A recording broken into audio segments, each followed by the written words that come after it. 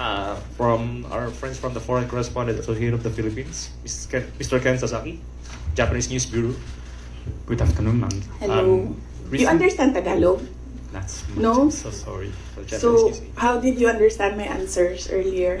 sorry, sorry. Just, uh, It's go okay. Ahead. Go ahead, Sasaki-san. Oh, I love Japan. Thank you. It's my favorite country in the world. Yes. Next to the Philippines, ha?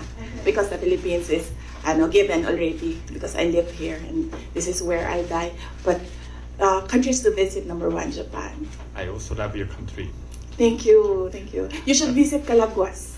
Ah, yes, I did. Beautiful. I did. I love it. Oh, it. you did? Mm. You've been there? Yes. Oh, so beautiful.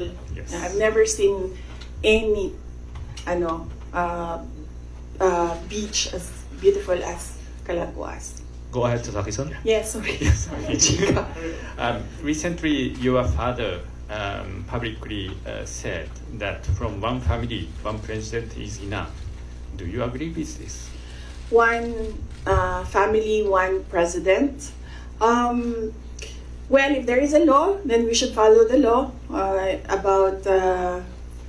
I think this is in relation to family dynasties of uh, people running for offices in government. Uh, if there is a law, we follow the law. I have no problem. Um, I've, I've always said that uh, my dream was to become a pediatrician, a doctor.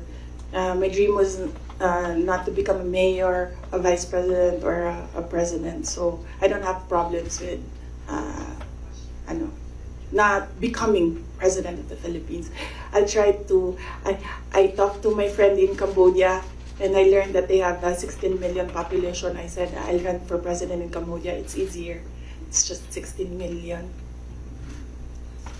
And, and uh, hopefully additional. So, how do you think about the current president, who is the second from one family? uh, what uh, well there is no law prohibiting um, family members of former presidents running for uh, president so uh, when he ran uh, he was well within his right uh, to run for uh, president Thank you. thank you